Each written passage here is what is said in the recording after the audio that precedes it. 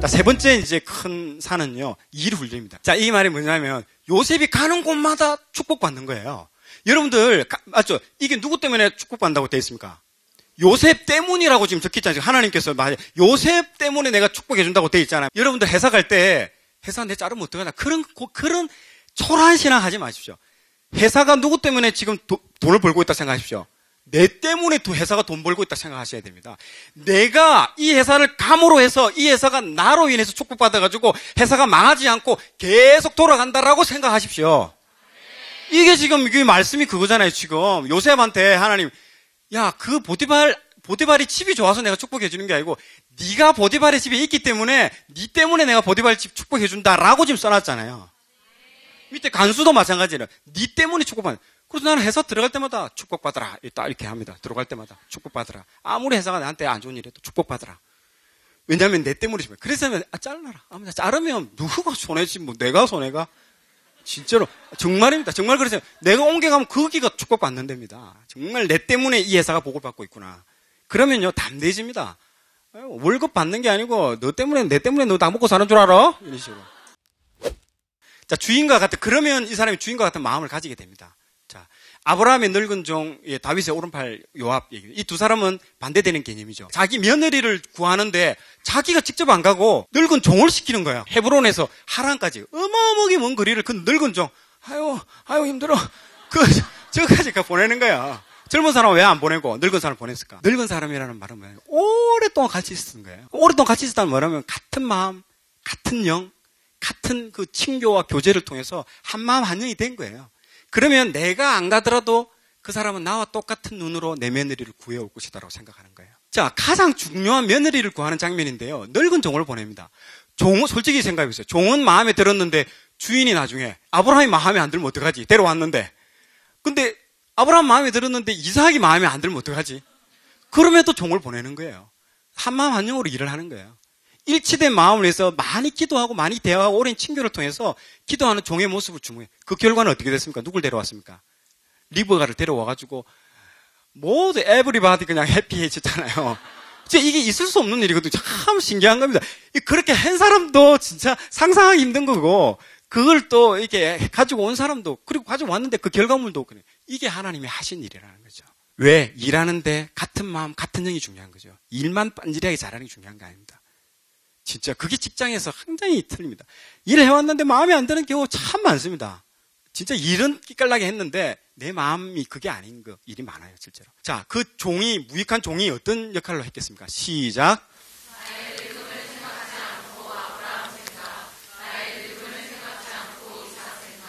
이게 종이 이런 생각을 하는 거예요. 참 무익한 종의 자세인 거죠, 이게. 자기를 돌아보지 않는 거죠. 내가 얼마나 힘들고 내가 관절도 안 좋는데 이런 생각하지 않는 거죠. 그런 생각하면 못 가죠. 아유, 네, 말고 다른 사람. 이 사람이 그 일하는 자세를 보세요. 요압은 아시죠? 다윗의 오른팔이잖아요. 세 명의 장수가 있었잖아요. 요압하고 그 세 명이 있었잖아요. 그 요압은 다윗의 오른팔인데도 요압의 마, 그 다윗의 마음을 전혀 모르는 사람이에요. 그래가지고 결과적으로 그, 그 남북이 통할, 통일되는 진짜 우리나라로 치면 남북이 통일되는 남, 남 유다와 북 이스라엘이 통일되는 남북 정상회담을 하잖아요. 다윗하고 막 성경을 안 읽어 전혀 모르는 얼굴이다. 다윗하고 위에 저기 아브넬하고 와서 이제 남북 정상회담을 하잖아요. 그래서 이제 곧 이 남유다와 남 이스라엘 전체가 통일이 되는 그 직전 정상회담을 통해서 이제 통일하기로 오케이 오케이 도장까지 다 찍었어요. 합의서에 도장 다 찍었어요. 도장 찍고 아브넬이 돌아가는데 이 요압이 동생이 아사헬이잖아요. 아사헬이 아브넬한테 죽었잖아요. 그 직전에 죽은 거를 딱 생각하고 가가지고 잠시만요. 와가지고 푹 찔러 죽여버려요. 그러니까 한마디로 지금으로 치면 문재인 대통령하고 김정은하고 남북 정상회담을 하고 김정은 돌아가는데 김정은 뒤에 돌아가는 길에 김정은을 찔죽이와 마찬가지예요. 그, 그리 되면 어떻게 될까? 다윗은 정치적으로 이제 아웃되는 겁니다. 정치적으로 최대 위기입니다. 왜냐하면 통일이 되면 뭐합니까? 민심이 다 떠나버리는데 어떻게 다윗이 저런 짓거리를 할 수 있냐고. 정치적으로 최대의 위기입니다. 그, 그 짓을 요압이 한 거예요. 자기 개인 복수, 이 나라 전체를 보는 게 아니고 내 동생이 죽었다는 거. 그게 오른팔인데도 다윗하고 몇십 년을 따라다니는 어딥니까? 아둘람 굴 따라가고 죽는 데까지 간 사람이잖아요. 옆에 같이 있다고 마음 아는 게 아니라는 거죠. 옆에 같이 있다고. 요압은 그렇게 해서 결국에는 나중에 심, 죽잖아요. 솔로몬 왕이 때 죽잖아요. 이게 진짜 중요합니다. 예. 같이 있다고 중요한 게 아니고 같은 마음, 한영이 중요하다는. 비서로서 같은 마음을 일하는 게 중요합니다. 그래서 저는 회장님하고 그거 관계 중에서 참 많이 얻었던 게 참 아버지로 내 생각을 했어요. 회장님이 질문도 많이 하고 특히 저는 비서기 때문에 질문을 엄청나게 많이 해요. 너는 이 부분에 대해서 어떻게 생각하냐? 어떻게 내가 생각도 말하고 물어보고 이러면 너무 힘들어요. 그러면 대답을 해보면 대답을 해요. 거기서 성장을 하는 거예요, 사람은. 엄청 생각합니다. 우리 학교 다닐 때 그러죠. 오늘 며칠이야? 15일, 15번? 이러나.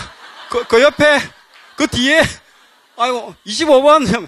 그거 한 번만 봐도 힘들잖아요. 하루에 네 번씩 봤습니다. 그 대답 잘못하면 막 속을 치고 내가 왜 그렇게 대답을 했냐고 막 머리 치고.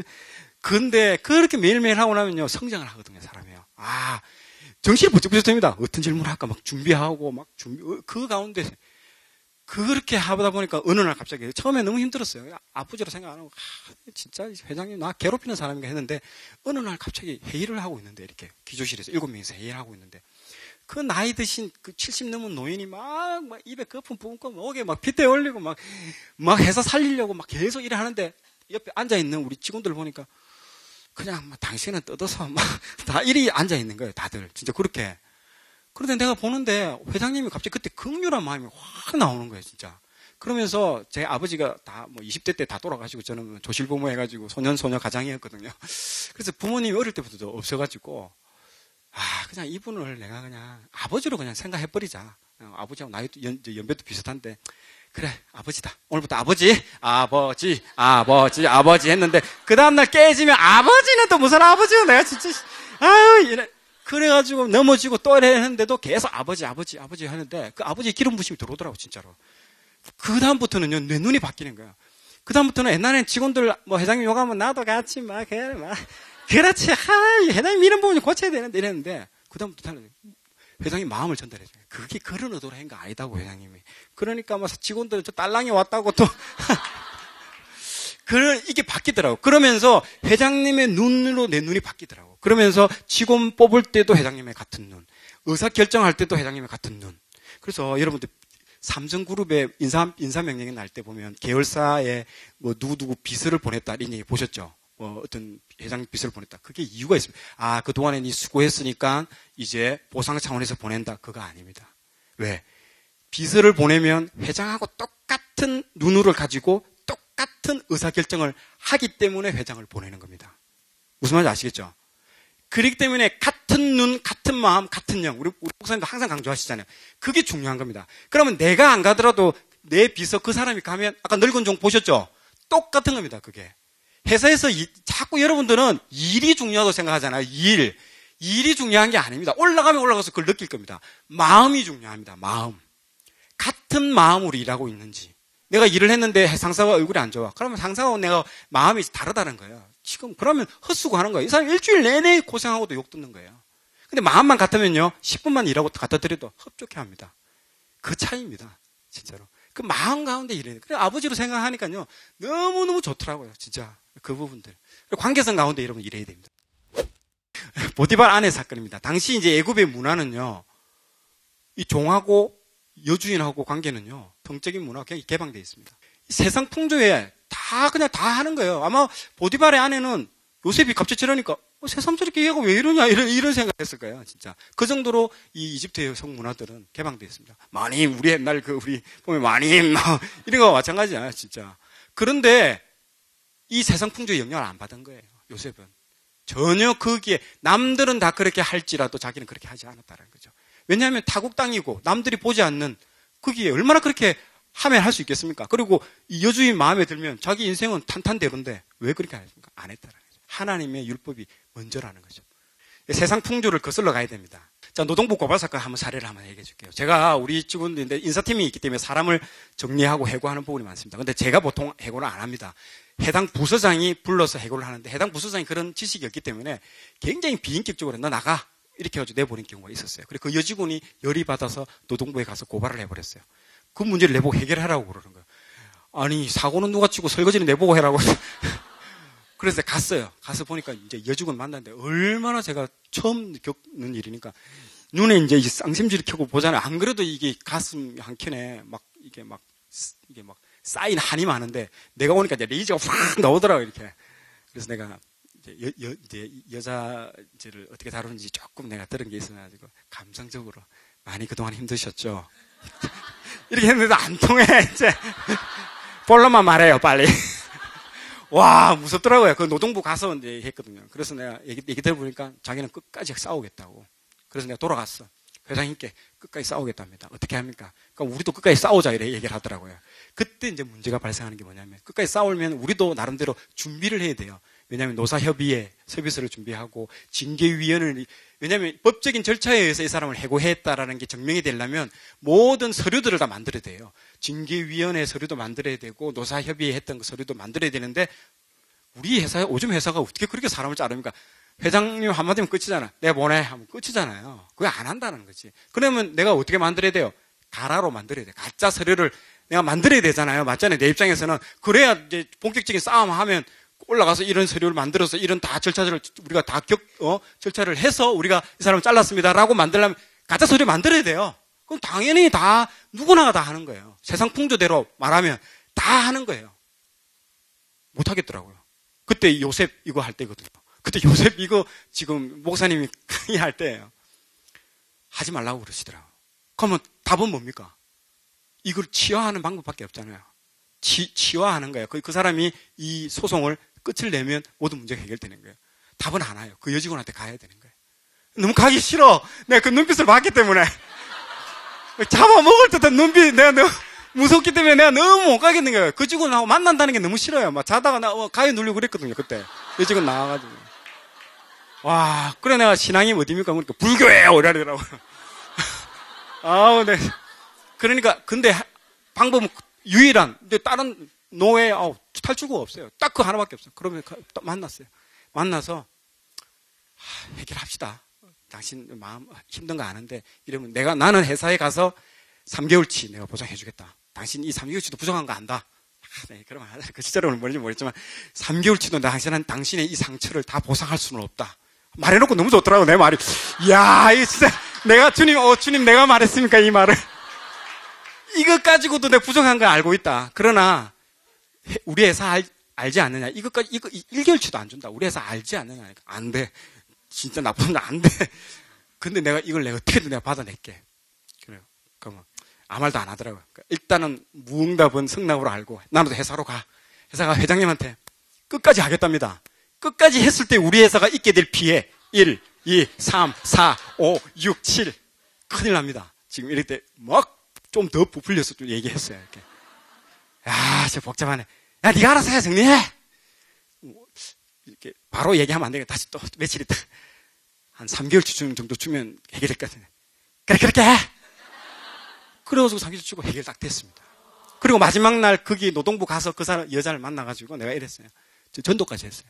불교를 믿는다고 들었는데 제가 산에 올라가서 저기 절에 한 번씩 가서 내가 약수물을 많이 먹고 한 번씩 많이 갔어요. 이제는 당신도 교회 한번 내가 여러 번 갔으니까 당신도 교회 가서 한번 교회를 한번 가보면 좋을 것 같다고. 네? 그러니까 한번 가보겠대. 또 고맙다고 또 가보겠대. 처음에는 그랬는데 나중에는 막 친해지가지고 그 여직원하고 그렇게 되더라고요, 진짜. 그런데 더 놀라운 건 뭐냐면요. 그 사건 이후에 다 그걸 안 맡아 걸로 해. 그 누가 좋아하겠습니까? 그 내 보내는 역할을 그 사람하고 생각해보세요. 그 애 딸린 사람들 만나가지고 당신 내일 회사 그만둬야 된다. 그 얘기하면요. 말하는 사람도 그 전날 그 일주일 전부터 막 가위 눌리고 그래요. 실제로 그래요. 근데 그걸 내가 계속 했어요. 근데 하면서 그때 깨달았어요. 아, 이걸 내가 일로서 생각해야 되구나. 내 감정이 들어가면 안 되겠구나. 대신에 내 이 사람을 위해서 헤던트도 붙여주고 내가 해줄 수 있는 모든 제공을 다, 다 해줘야 되겠구나. 그걸 그 사람을 위해서 내 해주면. 그다음부터는 이게 완전 지혜가 막 나오면서 그 분야의 전문가가 되는 거예요. 그 사람을 위로해주고 그 사람에 대해서 해주면요. 처음에는 막 회사에 대해서 감정이 막 폭발 일어나도 내하고 얘기하다 보면요. 싹 다 누그러져요. 그러면서 오히려 당신이 나한테 뭐 미안할 필요 뭐 있어. 회사가 그런 거지 하면서 내 위로해주고 그러는 대부분 그래요. 그리고 법적인 문제, 이 노동법 이런 거 막 빠삭해지는 거예요, 내가. 그러니까 전문가가 되는 거예요. 한 분야에 있어서. 그래, 여러분들 굳은 일에 대해서 내가 하라고 자기가 하세요. 굳은 일을 자꾸 피하면요, 전문가가 안 됩니다.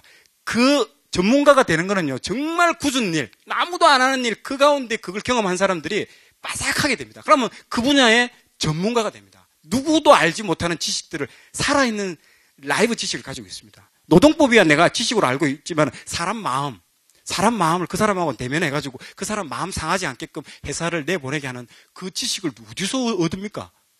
그걸 내가 경험해본 만이, 경험해본 사람만이 알 수 있거든요. 그것도 내 사역이다 생각 들더라고요. 아, 기분 나쁘지 않게. 참 이 사람이 다음 그 장막틀을 옮기고 그 사람이 성정창고할 수 있도록 내가 해줘야 되겠구나. 그런 생각이 들더라고요. 그래서 이 노동부 고발 사건이 내한테 있어서 참 중요한 의미 있는 사건이었습니다. 예, 사건을 통해서 장막틀을 옮깁니다. 아까 얘기했죠. 그 요셉이 겉으로 보기에는 슬픈 사건처럼 보이지만도 옮깁니다. 보세요. 그들의 연대를 정하시며 교주의 경계를 한정하셨으니 하나님께서는 반드시 있으라고 한 그 연대를 정하고요. 거주의 경계를 반드시 한정시키고 있으라 하는 곳에 있어야 됩니다. 여러분들이 이직 이직 얘기 많이 들라고요. 언제 직장 옮길까요? 지금 너무 힘들어요. 지옥이에요. 뭐 이러는데 있으라는 데 있으십시오. 저는 매일매일 어떻게 보면 너무 힘들어요. 실제로 보세요.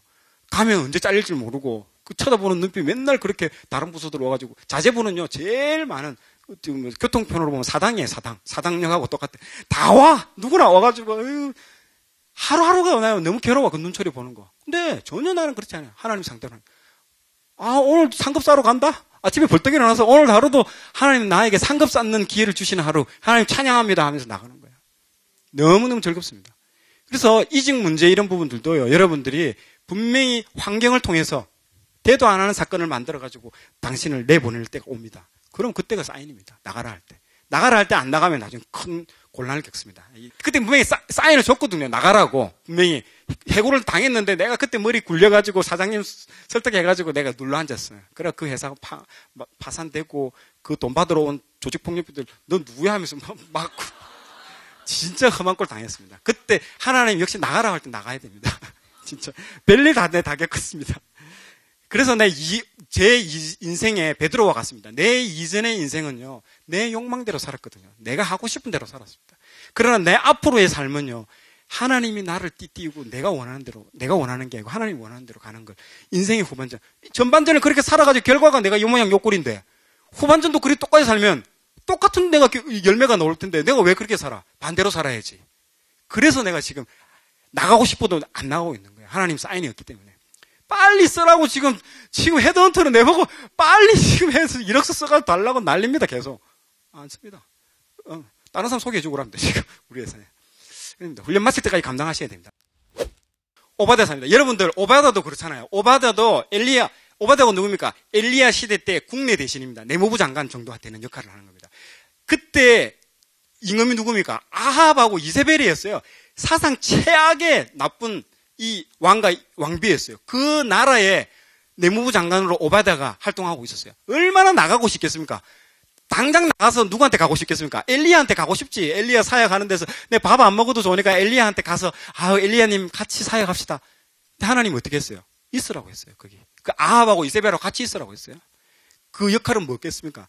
그때 이세벨이 이 모든 선지자들 씨를 말렸어요. 다 죽여버렸어요. 그때 오바데가 무덤을 두 개 파가지고 이쪽에 50명 묻고 이쪽에 50명 묻어가지고 거기서 먹을 거 주고 해서 100명을 살려냈습니다. 이세벨을 다 죽이는 그 선지자들을 다 죽이는 그 상황 가운데 오바데가 그 50명, 50명, 100명을 살려 남아가지고 그 사람들이 계속 계속 선지자가 이어지게끔 만들어지는 역할을 이 오바데가 한 거예요. 그러니까 하, 여러분들 지금 어려워하는 그런 환경 가운데 있습니까? 어떤 데는 뭐 구조적인 문제, 죄악 가운데 있는데 있어요. 그런데도 하나님 있으라고 해요.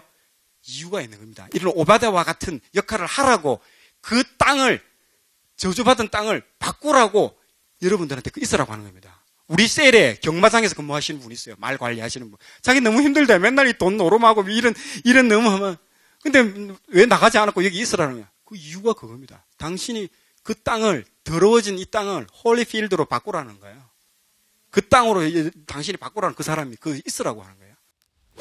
술 맡은 관원장입니다. 자, 술 맡은 관원장 사건은 뭡니까?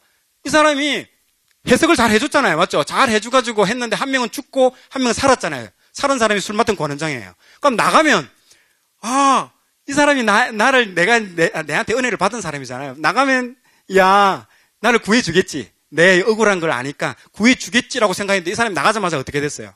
싹 다 까먹어버렸어.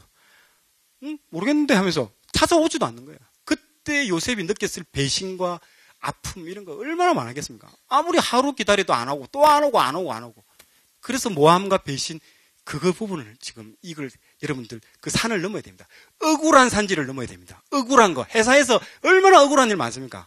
치사하고 더럽고 안이 꼽고 그걸 넘겨야 됩니다. 그게 이 술 맡은 관원장 사건을 통해서 요셉에게 하나님께서 사람 의지하지 말라는 거죠. 그 사람 너를 탈, 거기서 탈출시킬 사람은 그 술 맡은 관원장이 아니고 나다.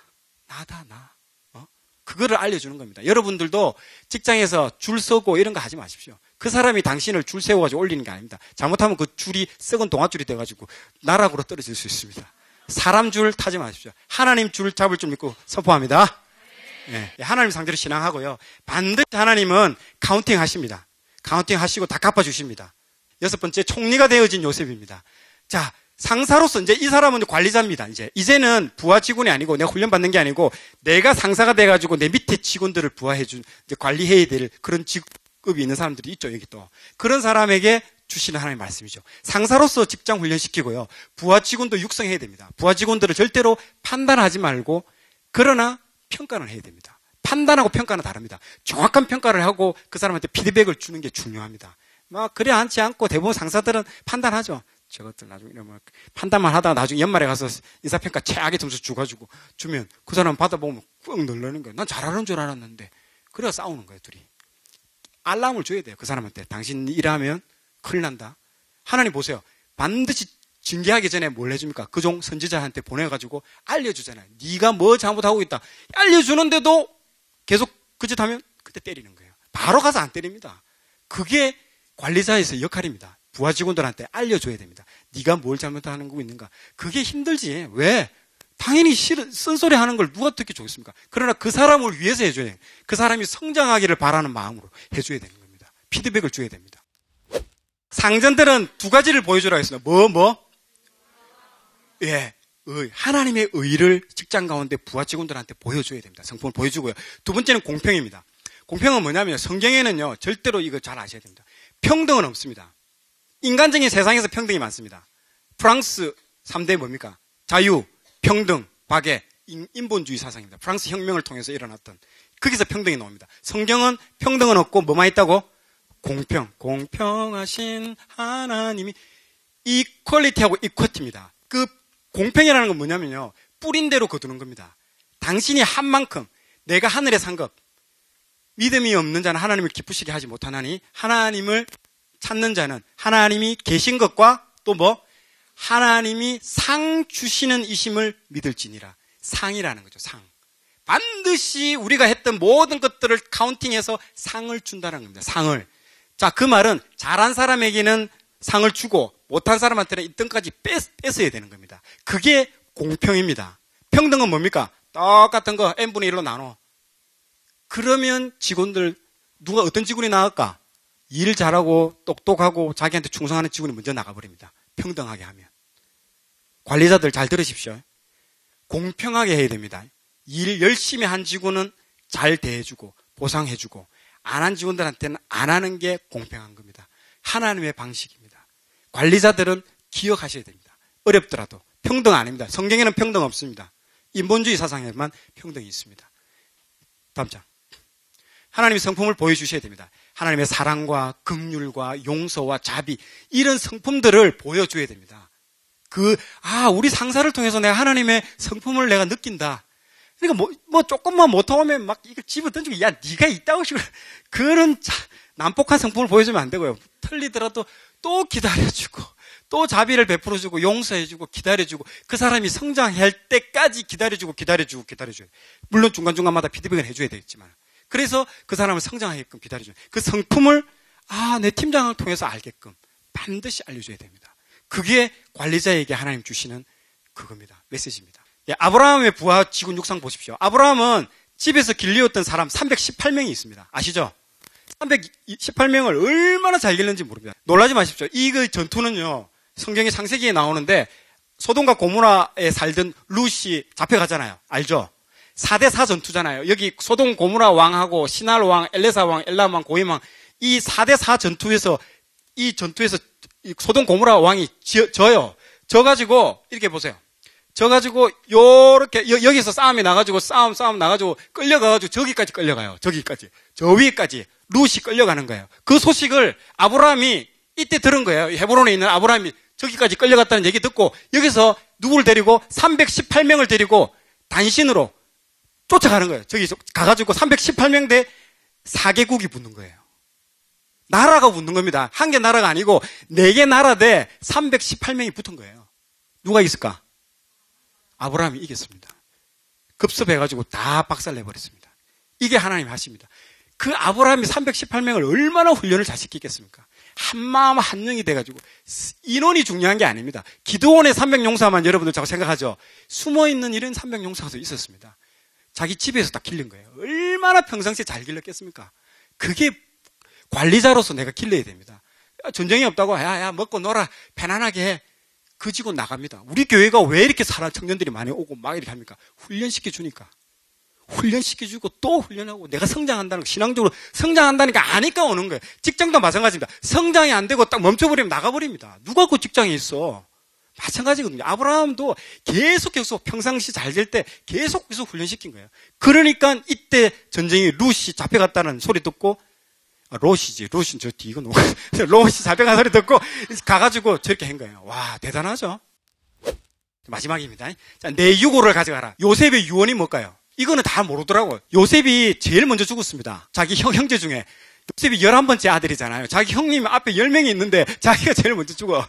여러분, 죽음이라는 게 있고, 죽음을 무상하게 뭐, 뭐 저주받을 생각하십니다. 죽음은 안식입니다. 모세가 왜 못 들어간 것에 대해서 뭐, 뭐 저주받을 그게 아니에요. 하나님이 안식 가운데 들어가는 그리고 죽음에 대해서도 여러분 패러다임 바꿔야 됩니다. 아, 이제 하나님과 영원한 안식에 들어가는구나. 뭐 기쁜 거 기쁘게 생각할 수도 있습니다. 너무 그런 부분에서 그 먼저 열한 번째 아들이지만도 먼저 죽었어요.